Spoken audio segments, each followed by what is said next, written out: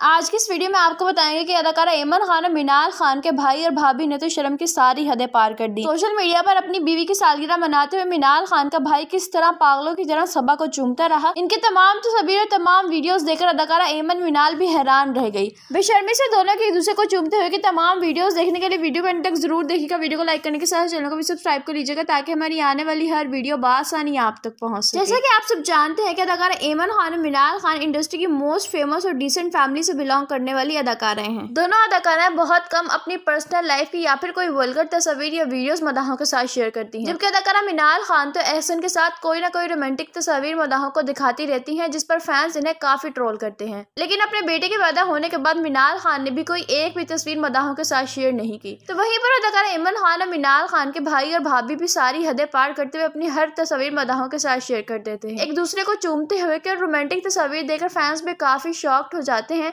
और सब यही कहते नज़र आते हैं कि मीनाल खान की भाभी ने तो मीनाल खान को भी पीछे छोड़ दिया है। जहाँ पिछले दिनों मीनाल खान के भाई और भाभी ने एक रोमांटिक वीडियो मदाहों के साथ शेयर की, जिस पर अदाकारा मीनाल खान भी तोबा तोबा करने पर मजबूर हो गई। तो वहीं पर रिसेंटली अदाकारा एमन मीनाल के भाई ने सोशल मीडिया पर अपनी बीवी सभा की सालगिरह मनाते हुए एक वीडियो शेयर की। सालगिरह मनाते हुए एमन मीनाल का भाई मास्क किस तरह सभा को चूमता रहा इनकी ऐसी वीडियो देखकर मदाहों ने दोनों को गालियाँ देना शुरू कर दी। आप ये वीडियो अपनी स्क्रीन पर देख सकते हैं। आपको तमाम तफसलात जानकर ये वीडियो देखकर कैसा लगा, हमें कौन सी कीमती राय के साथ ज़रूर दीजिएगा। कि एम मिनाल के भाई और भाभी को इस तरह की वीडियोस अपने फैंस के साथ शेयर करनी चाहिए या नहीं, हमें कौन सी कीमती राय के साथ ज़रूर दीजिएगा, आपके कमेंट का इंतज़ार रहेगा।